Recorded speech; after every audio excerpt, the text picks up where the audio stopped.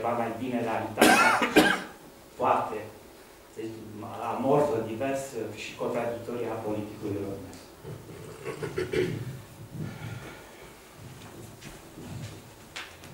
Ok. Tot pe altă, da? La pe altă. Eu cred că ar trebui introdusă și uh, dimensiunea evolutivă. Nu, nu e altă. E definiția ce e politic. Acum, că trebuie să-l facem, că sigur nu are pălăria, nu are proprietatea asta. Nu are. Evolutivul nu are. Dovadă că este Bun, atunci, acum să zic eu, aici, aici, aici aș vrea să continui ceea ce a spus domnul Bruno. Uh, care sunt la urma urmelor fundamentelor oricărei societăți? Aia e, e, e Da. de acord, de obiectul Pentru care de că- condus. Dar deocamdată politica este cea care conduce. Este cea care... Hai să vedem după aceea ce conduce, pe cine conduce, cine e, Dar, dacă e nu sistem sau nu e spun, sistem. uh, A ajuns să fie, cum spun, a ajuns încet încet să fie sistem, pe măsură ce uh, competiția a dus la consolidarea, cum spun, sistemelor de putere. Da? Și gândiți-vă la un lucru. Deci, uh, urbanizarea se datorează agriculturii. De aia spun, că și puțină uh, istorie a umanității, da? și a ciclurilor uh, din uh, de dezvoltare ale societăților umane. Uh, S-au creat uh, resurse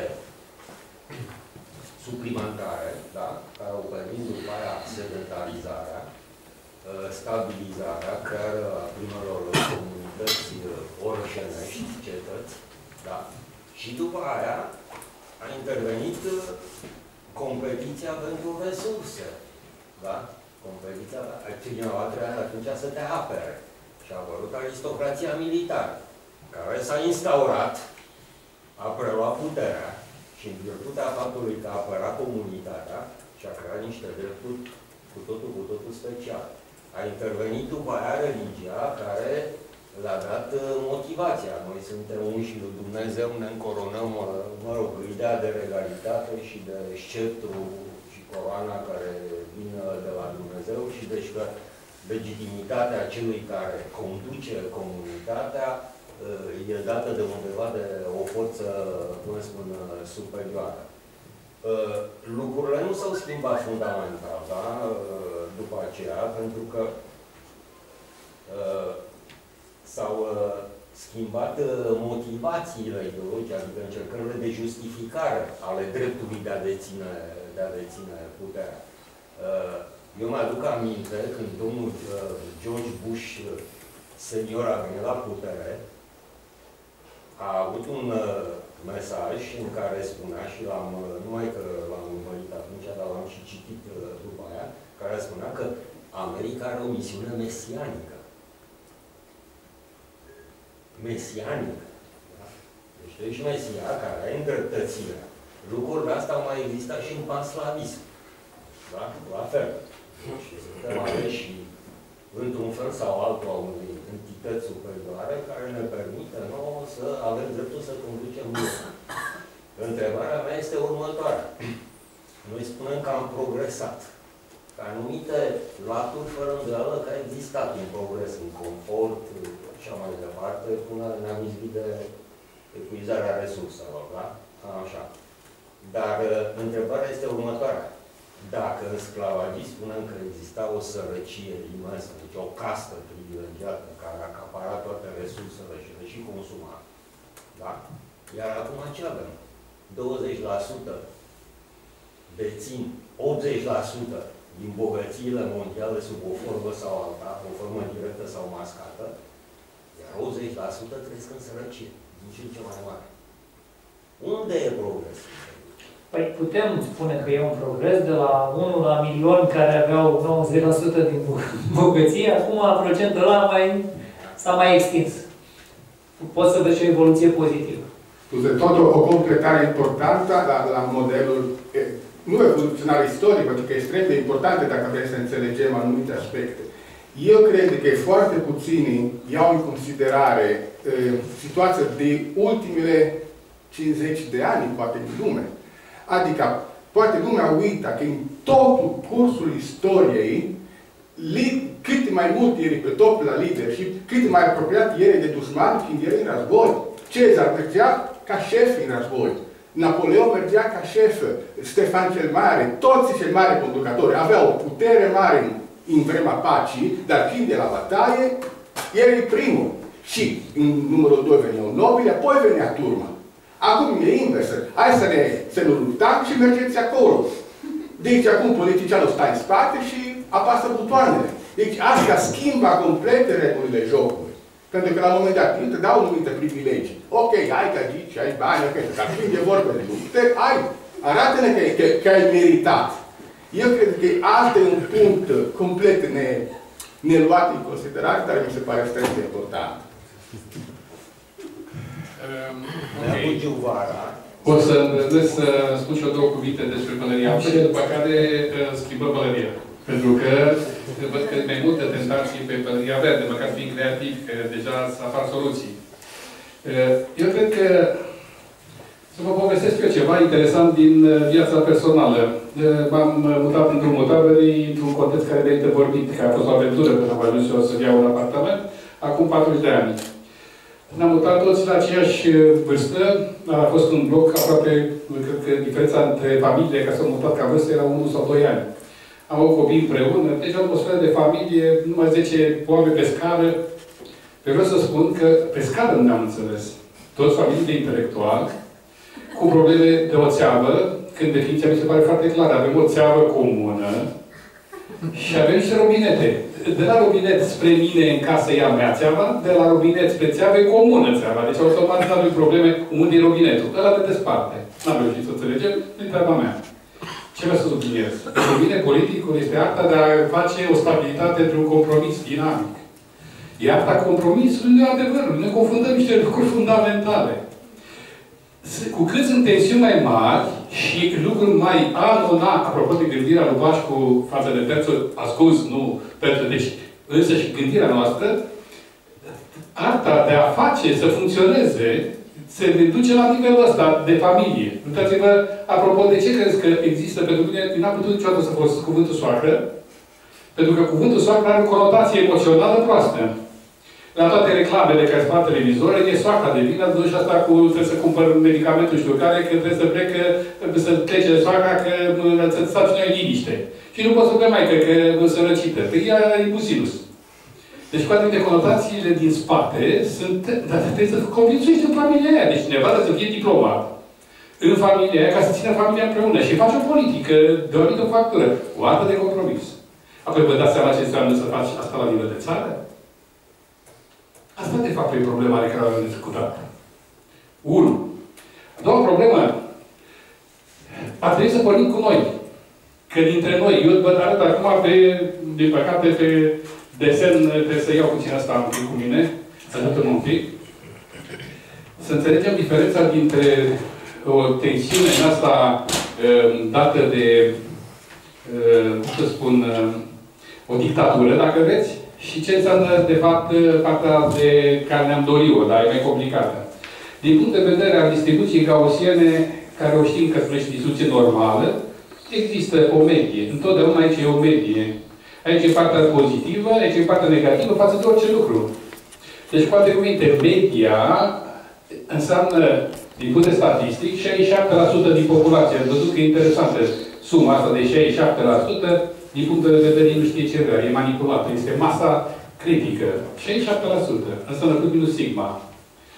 Adevărata parte dinamică este undeva la sub 1% din, la capetele lui 3 sigma, cum se numesc, încă aici sunt cei care deține înțelegerea și aici sunt cei cu plus, aici sunt cei cu minus. Pe diferența conceptuală, cei de aici și cei din medii, foarte mare. Mă, normal, înțeleptul care ar conduce, ce ar trebui să facă? Să înțeleagă diferența asta, să înțeleagă că asta e un copil spiritual, că nu are cum să înțeleagă, că e analfabet funcțional și înțelegând să creeze un mecanism în așa fel încât să-l să păcălească, de ghilimeleze sub buna cuvântului ca să ridice nivelul, să-l deplaseze media mai spre ridicarea nivelului de lucru. Dar în democrație nu se poate, că el e ales tocmai din cauza mediei. El are nevoie de 67%. Și atunci, automat, se creează un demers, un fel de legătură umbilicală, un fel de rezonanță, dacă vreți, semantică, între cel care vorbește și masa de oameni. Deci ce vedem noi suntem noi. Deci ce vedem noi în calitatea oamenilor care i-am ales și nu ne plac, suntem noi. Este imaginea celor 67% din populația noastră. Noi am ales.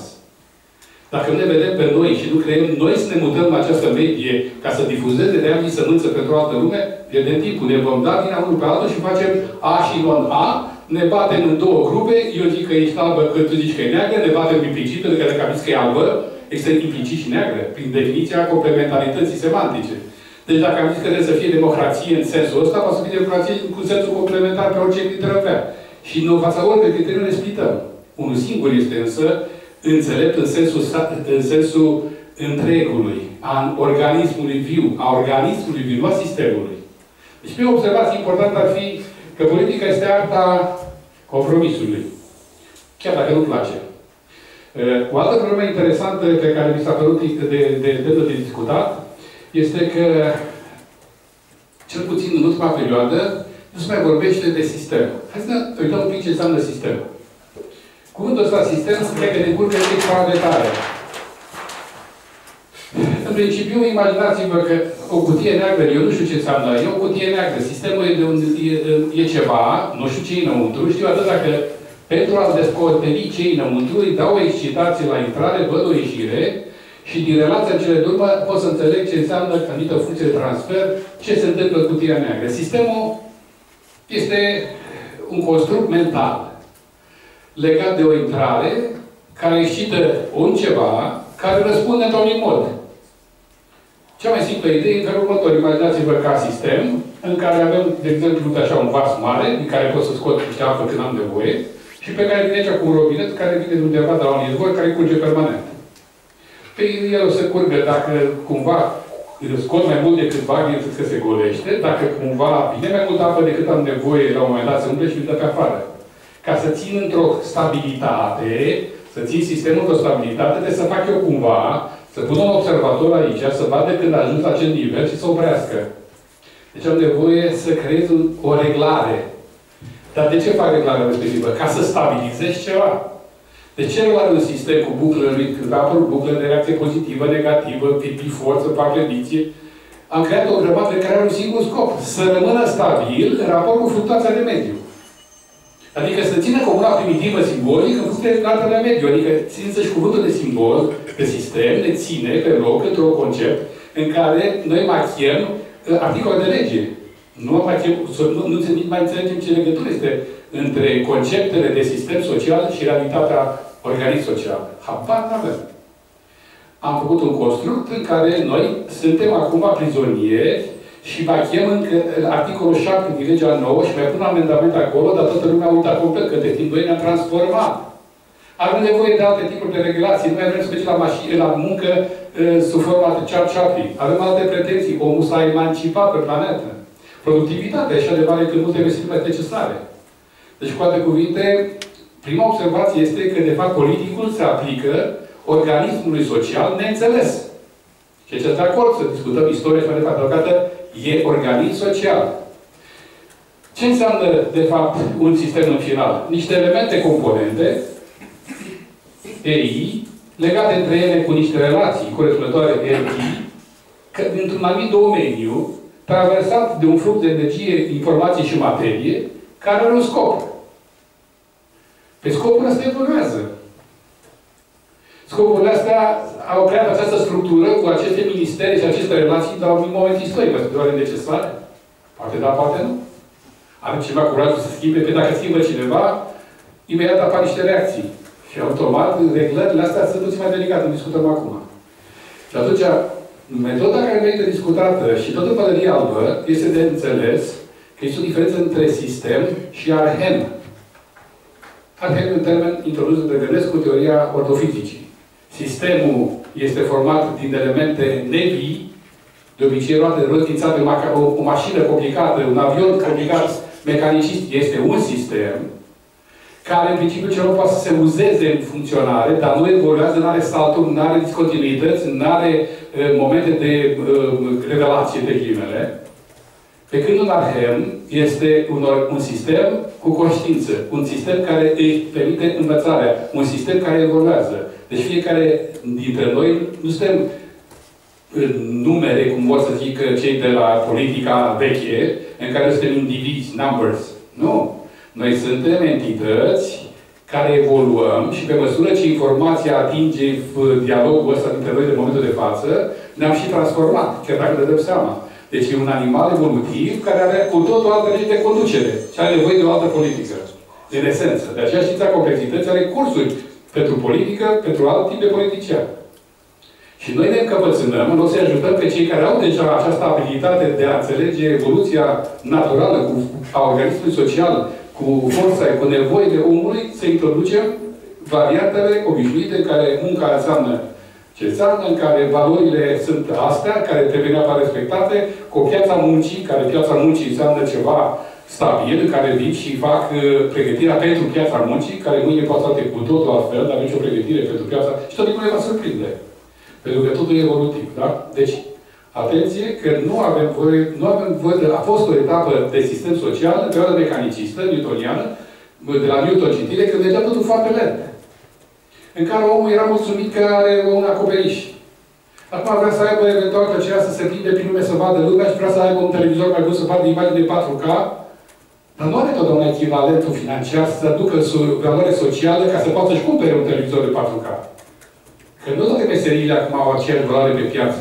Multe care erau acum 50 de ani extraordinare, acum nu au niciun leu. Și el ca va deveni tot mai repede și tot mai repede. Deci, a doua problemă este un nou termen introdus, co-evoluăm cu structurile care ne permit sau nu, dar le vom forța. Ce vedeți la asta afară din punctul meu de vedere este, imaginați-vă că suntem puși într-o cutie decât sistemul social, care are niște reguli foarte clare pe care toată lumea vrea să le respecte, dar interiorul unei e ca o cutie în care crește ceva care e viu, care tot crește exponențial, la va, va duce și va rupe. Și va face ce? O invenție socială, adică o altă structură. Cuvântul invenție socială e la fel de importantă ca și o invenție pentru un aparat de radio. Invenția socială este cum să reformulezi dinamic, de a apărut denumirea jurist dinamică, cum să normezi